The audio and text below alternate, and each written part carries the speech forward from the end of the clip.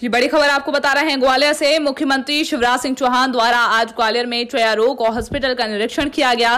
साथ ही मीडिया से रूबरू होने पर शिवराज सिंह चौहान बोले ग्वालियर में शिवराज सिंह चौहान ने कहा कि कल दिए जाएँगे मंत्रियों को विभाग। Bureau report Hindustan today.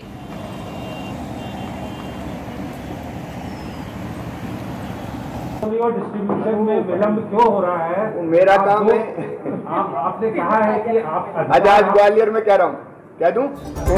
चल कर दूँगा